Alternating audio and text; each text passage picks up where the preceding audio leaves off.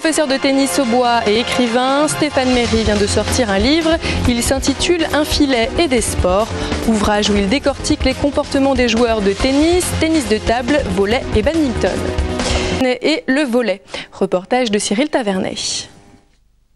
Trois ans de thèse sur le comportement des sportifs, un an d'écriture et l'ouvrage de Stéphane Méry est né. Environ 500 pages pour démontrer que le sport est ponctué de règles sociales, que le tennisman ne se comporte pas de la même manière qu'un joueur de hand ou de tennis de table. J'ai donc visionné et regardé des matchs, filmé, photographié des matchs, plusieurs centaines de matchs à Roland Garros, à Bercy, un peu partout.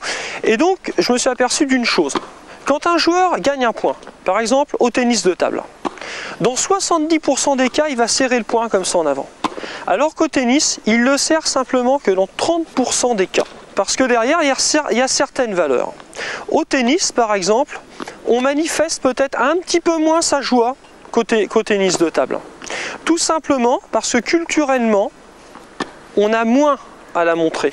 Le sport serait donc, selon cet écrivain, le miroir de nos habitudes en société. Le citoyen choisirait son activité physique en fonction de ses critères sociaux. Il y a des exceptions, bien sûr.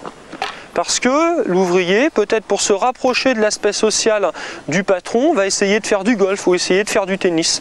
C'est comme ça qu'on peut retrouver une massification du tennis.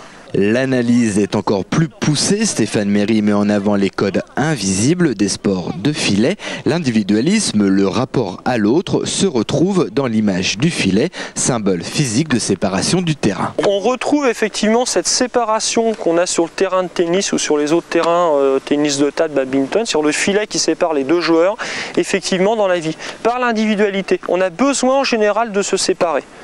Mais on a besoin de, se séparer des autres. Mais on a également besoin de se retrouver.